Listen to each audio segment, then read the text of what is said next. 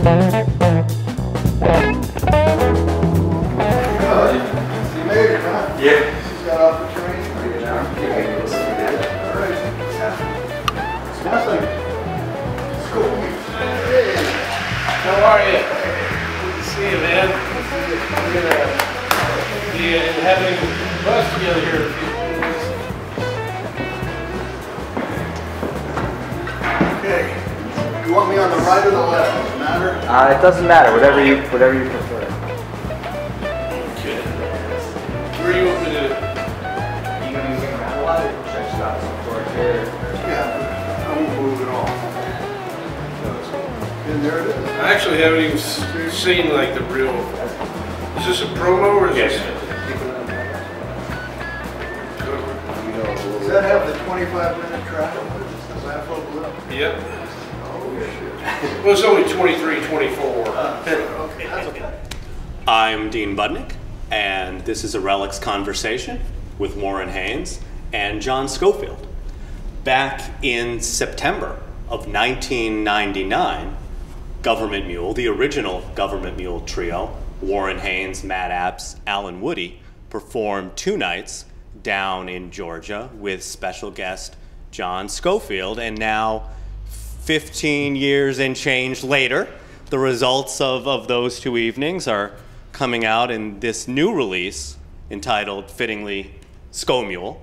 And John Scofield, beginning on February 18th out in Seattle, is going to spend a month touring with Government Mule, concluding right here in Port Chester, New York, at the Capitol Theater on March 14th. So I'd like to take some time, talk about what went on then, the intervening years, what might be coming. So all the way back September of 1999 or before that, how did this initially come about that John came out to, to play with, with the Mule? Well, Government Mule was very young as a band at that time. We were we'd only been together about four years, and we were starting to discover that it was fun for us since we did really long shows to do a, a large part of the show as a trio, and then bring some friends and special guests out uh, for the rest of the show. And we had started doing that with some keyboard players like uh, Bernie Worrell and Chuck Leavell and Derek Trucks, who was on the road with us uh, at the time, uh, Marc Ford, who was on the road with us playing guitar with us. His band was opening, and he'd come and sit in with us. And Randall Bramlett uh, had joined us for our live with a little help from our friends record. And we were noticing that it was not only fun, but each time that happened, it would kind of uh, start influencing us in an odd sort of way. The, the, our future direction would be influenced by the people that were sitting in with us and the and the natural directions that just kind of came about.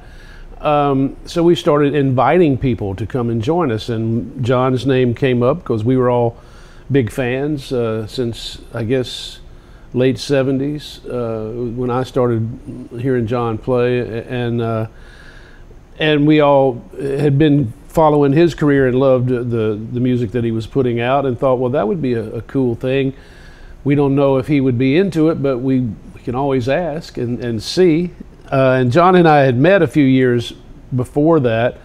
Um, so I guess we just kind of went through the proper channels and said, "What do you think?" And I, I knew that you were open to some of the jam band world because you had, I think you had already done the stuff with Medeski Martin and Wood at that yeah, at that go-go. point. Yeah, that's right. Uh, and so it wasn't a complete shot in the dark because we were friends with MMW and uh, a go-go was really kind of shaking up the jam band scene a little bit, you know. I still think, and actually, maybe I'll come back to yours, since we're on the subject, I mean, A Go Go came out in 98, now 17 years later. I think that album still kicks and resonates, and it's a wonderful, wonderful release that influenced a lot of people. And a song from it, Hottentot, actually opens Sco-Mule before, actually, maybe before we talk about your evening, your evenings with Government Mule. Can you talk a little bit about about a go-go and what your thoughts were actually going into that and what you thought might come out of it in the long run.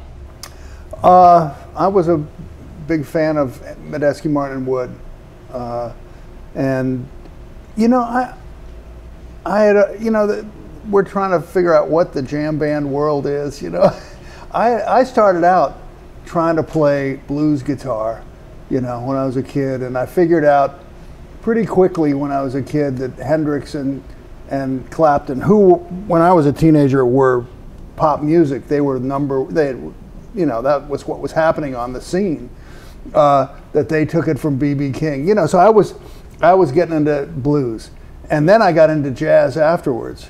And when I heard, and I, but I played fusion always. You know, I played with with bands that were electric. You know, with with big amps and big drum sets, and I played that kind of music. So for me, you know, when people say, "Oh, you made this move from jazz to jam band," uh, even though I'd done a lot of straight ahead jazz, which is different from you know uh, jazz rock and whatever, it the the jump it, it's like it wasn't a big deal for me to to make that switch. So. Um, yeah, so at the time, I just felt like, oh, I can play with MMW and we can get into this stuff, and those guys are into these grooves that I love, you know, coming out of the same place with the stuff that I love. And I felt the same way about Government Mule. So, in terms of Government Mule, maybe we'll come back yet to. Uh, I know you, you, actually, the two of you toured with John Medeski and Phil into doing some Phil Lesh and Friends dates. Mm-hmm. Maybe we'll swing back there. But in terms of your engagement musically with Government Mule back then in '99, do you remember? Mm-hmm what your thoughts were going into that that gig or uh... well you know uh, like warren said we knew each other. You know we had, knew about each other. And and i'm going to take this opportunity to i don't know if you and i even talked about the first time that we met. Uh, if i've at sweet basil. Yeah. Yeah, yeah i'm going to tell them about that because uh, this was a before the mule i think. You were in town. yeah yeah no i don't think we had started this mule was yet. the early 90s yeah. And uh, I'm playing at a club called Sweet Basil, which was a stone acoustic jazz club, you know, playing my jazz thing. And, uh, you know, in that world, it's kind of not about sitting in so much and stuff. It's pretty, you know. And, uh, and so a, a, guy comes in with long hair and with leather, and uh, he comes up to me and he goes, Hey, man, any sitting in going on over there? And I said, Well, don't know. I mean, what? you know, and, then we started to talk, and it was Warren. And uh, I thought, oh, you're not in the Hells Angels. You're a guitar player. because, you know, it was a, he had a, a, look that was very distinctive. And we started to talk, and he said, yeah, I'm in town with the Allman Brothers. And I said, holy smokes, man, the Allman Brothers, you know, echoes of my. Uh, uh, of my past. You know, I was an Allman Brothers fan, and I hadn't heard uh, Warren with them. Anyway, we we talked about that, and uh, we we uh, we met that way. And uh, this says volumes about Warren's uh, expansiveness as a musician, because he was into jazz, is into jazz, is into all kinds of music, from country to raga to reggae to classical music, blah blah blah. So Warren, you know, sought me out, and and uh, we became friends. And then when he asked me to play with Government Mule a few years later, um, I was ready because I knew his music at that point. So was there any sitting in that night at the? Uh... Uh, my re- my recollection was the show was over. Oh, right? okay. I think, oh, maybe you said where do we go to sit? Oh, in? I, I, don't, I don't, I don't remember. But I, I'm, I got there too late to see the show, and I was bummed out because I was trying to get there in time to see John play, and I walked in and you were sitting at the bar having a Yeah, yeah. soft drink or something, and I, I was like, I don't remember the exact conversation, but I, I know I was like, hey, uh, you know, we should maybe play some in the Yeah, future or something. I don't, I don't remember, but I, I remember I missed the set. Yeah, and I was bummed out because I really wanted to hear you play. Wow. Uh, but and Sweet Basil was also where Art Blakey did that two weeks or whatever. Oh, he used to play the long and periods, When I. Mm-hmm. first came to New York, and every day I would turn to my wife Stephanie and go, "We got to go hear Art Blakey play," Mm-hmm. and we never went, and I never got to hear him play live. Is Sweet Basil still there? It's gone. Uh, it's gone. Yeah.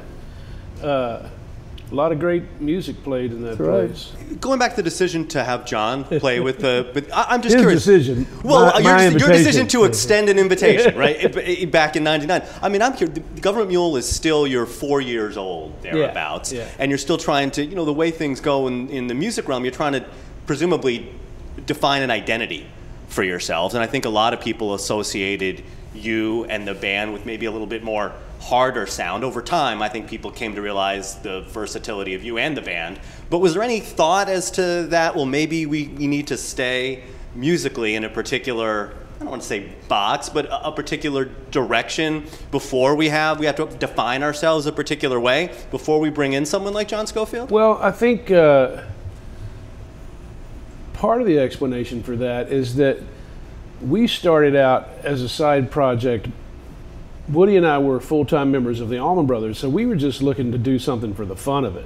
We didn't have any expectations. We weren't putting any pressure on the band. I don't even think we thought about touring or anything. We just thought, let's go make an, some sort of experimental type record, some really low budget record.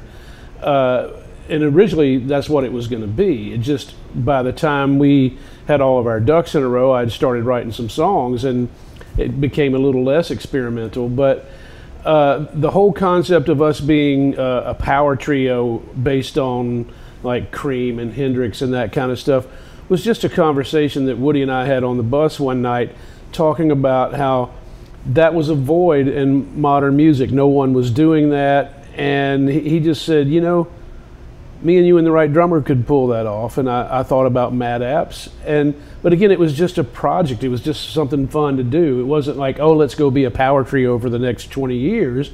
This was just us talking like we did every night. And uh, I think we were probably listening to Hendrix at the time. Uh, so we went in the studio and made a, a, record. And then all of a sudden it's like, oh, well, we kind of have an audience. This is fun. And meanwhile, the Allman Brothers was kind of falling apart. Nobody was getting along. There was no writing, no rehearsing, no recording.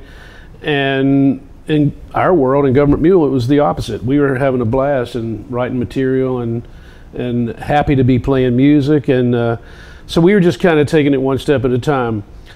Every decision we made was based on what seems like fun. Uh, so, it, what did we care if people thought it was weird? We invited John Scofield. like, we were having fun.